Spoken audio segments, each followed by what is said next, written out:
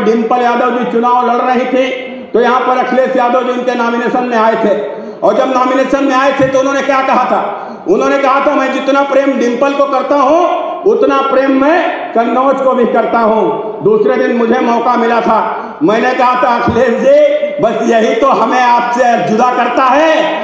आप जितना प्रेम डिम्पल से करते हो, उतना प्रेम कन्नौज से करते हो। लेकिन अखिलेश जी मैं जितना प्रेम अपनी जन्म देने वाली माँ से करता हूँ, उससे कहीं अधिक प्रेम अपने कन्नौज की धरती माँ से करता हूँ। ये हमारे बुज़ुर्गों की भूमि है, हमारे पूर्वजों की भूमि है, हमारी मातृभूमि है। इसके लिए जिएँगे, मरेंगे और सब कुछ करेंगे, अखिलेश जी, सब कुछ करेंगे।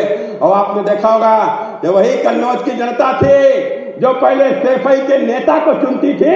और इस बार इसने कन्नौज के बेटा को चुन लिया, कन्नौज के बेटा को चुन लिया और सेफई के नेता को रास्ता दिखाने का काम किया।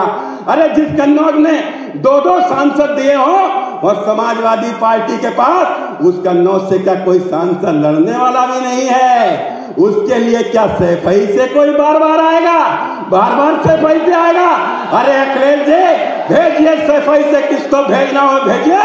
या कन्नौज कन्नौज की जनता ने परिवार बात को नकार दिया है। अब किसी बड़े बाप का बेटा, नेता नहीं बनेगा। कन्नौज की मिट्टी में जन्मा हमारा ही बीच से निकल कर आने वाला ही यहाँ के ऊपर नेता बनेगा। जनता उसको चुनेगी तय है। VK news, Uttar Pradesh, Uttarakhand. सच का सारथी।